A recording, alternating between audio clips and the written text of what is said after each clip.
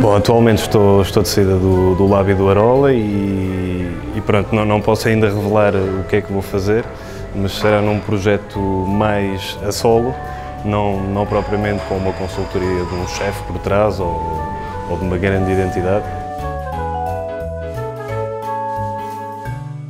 Já, já trabalhei em Espanha, já trabalhei em França, trabalho em Portugal desde que me formei. Um, fiz alguns estágios também, fiz inclusive uma, um soft opening de um, de um hotel no Cazaquistão. Foi uma experiência engraçada durante um mês. Um, e passo a vida a estudar, basicamente. Uma essência do Norte. Eu sou do mundo, nasci em Paris, mas pronto, tenho raízes realmente transmontanas e, e as pessoas costumam dizer que uma pessoa é de onde se sente bem. Eu sinto-me realmente muito bem aqui uh, em Sintra, em Lisboa, mas, mas sinto que ainda tenho uma boa costela nortenha e, e pronto, e deixei cá qualquer coisa. Isso reflete-se na tua cozinha também? Sim, muito, muito, bastante.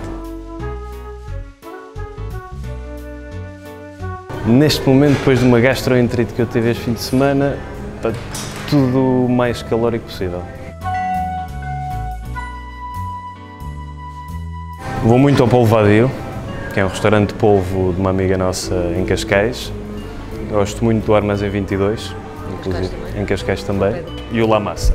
É no Estoril, é bem pertinho da minha casa. Tento não fugir muito para Lisboa, tento conhecer mais aqui a zona, sendo que é difícil porque não há assim tantos restaurantes que me agradem.